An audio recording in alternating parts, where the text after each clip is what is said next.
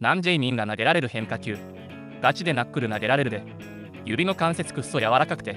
フォークめっちゃ落ちるで。進化。曲がらないカーブ。チェンジアップは誰でも投げれる。ライズボール。軟式やけどカーブスライダーフォーク投げれる。チェンジアップがどうしても投げれんのや。チェンジアップに自信にき投げ方教えてほしい。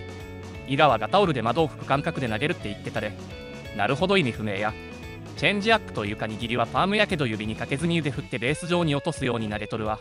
球が遅いから落ちてるように見えるだけやろ。チェンジアップが一番無理だわ。指にかかる感覚がない。サークルチェンジ。スライダーが一番簡単やろ。カーブは意外と難しい。スライダーを覚えるとカーブとの差別化ができなくなる。ストレートがシンカーになる。Y はストレートがシュートになるわ。カーブはキャプテンの松下の投げ方で投げれば曲がるストレートのつもりだけど軌道がチェンジアップ。それスピードないから球がお辞儀してるだけやろ。変化球ボールくっそ楽しい。パーム。Y 運動音痴。球まっすぐ投げようとしても必ずカーブ回転がかかってしまう。シュートは腕を内側に滑らすようにねじるとナチュラル気味に曲がるで。ツーシームも意外と簡単に投げられる。今の時代 YouTube で簡単に技術指導見つけられるからいいよな。勝手にシュートする。ヘロヘロカーブ。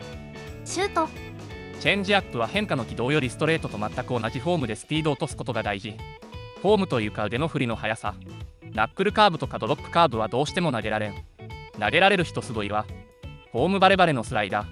カットボール。草野球でカットボール投げられると無双できるぞ。皆さんはいかがですか？投げられる変化球についてコメント欄で教えてください。ご視聴ありがとうございました。